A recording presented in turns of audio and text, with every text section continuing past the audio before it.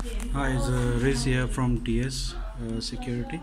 So we install here 5 kVA solar system with the inverter and there's a two batteries. So I want to show you how to connect for the no power system.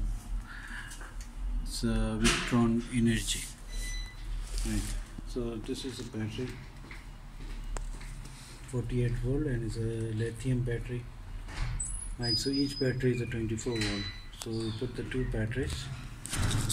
And I will just want to show you how to connect.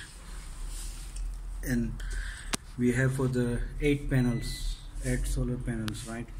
And the, all the solar panel wires. And it's uh, this one. And it's going to the fuse. And from the fuse this is the four fuses right? For the panels and the right. And it's going back to the inverter. And this one just bridge it from the panel and is going back to the inverter. And this is the changeover switch. And I want to show you also the changeover switch.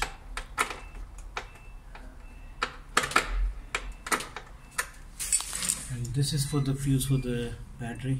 And this one is just for the meter showing the power of the battery how much power is on the battery. So for here.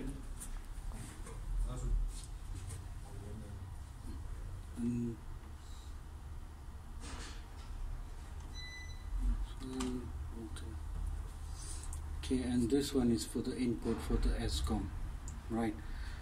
And this is for the output for the leakage.